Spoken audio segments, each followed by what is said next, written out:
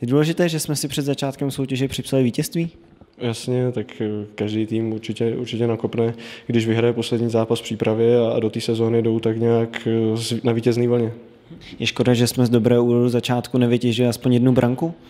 No, tak prvních těch 10 minut eh, jsme do nich vletěli a měli jsme, měli jsme z toho vytěžit aspoň jeden, dva góly určitě. A jako bychom se toho potom zalekli, že jsme nedali tak jako v těch zápasech předtím a, a zalezli jsme. Je důležité, že jsme potom vyrovnanou hru dokázali strhnout na svou stranu a připsali si docela vysoké vítězství?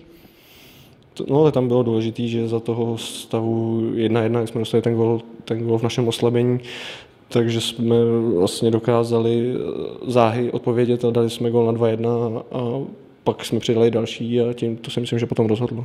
Může nám pomoct, že jsme si uh, těsně před začátkem soutěže vyzkoušeli, jaké je to hrát se soupeřem ze stejné soutěže?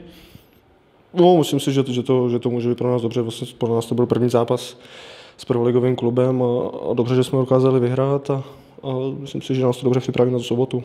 Vy sám jste si připsal první branku v přípravě. Bylo těžké to víkendem to trefit?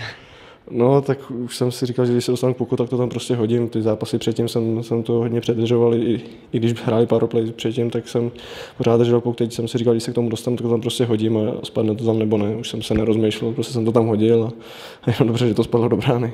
V sobotu vás čeká premiéra s Benátkama. Je velký natěšení na ten začátek? Jasně, tak po těch, po těch dvou měsících dá se, dá se říct na ledě, už se těšíme na ten, na ten ostrý start a až se dostaneme do toho zápasového rytmu, tam se budou hned tři zápasy za týden, tak jenom dobře, že, že, že to takhle bude za sebou a budeme v tom zápasovém rytmu. Díky, ať se daří. Děkuji.